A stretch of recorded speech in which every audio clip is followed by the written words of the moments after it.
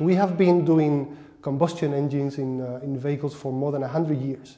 And suddenly we need to switch technology, we need to switch mindset, we need to switch business model. This is so big that not a single company can do it alone. So we need to bring energy companies, automotive companies, and financing companies together because it's a challenge that we all face. In a changing world, people are going to be asking for sustainable mobility, for connected mobility, for autonomous mobility. So the way we can solve it is by developing a mix of technologies that are going to be uh, interconnected in order to provide to our customer the best service, the best product, uh, while at the same time reducing the CO2 footprint.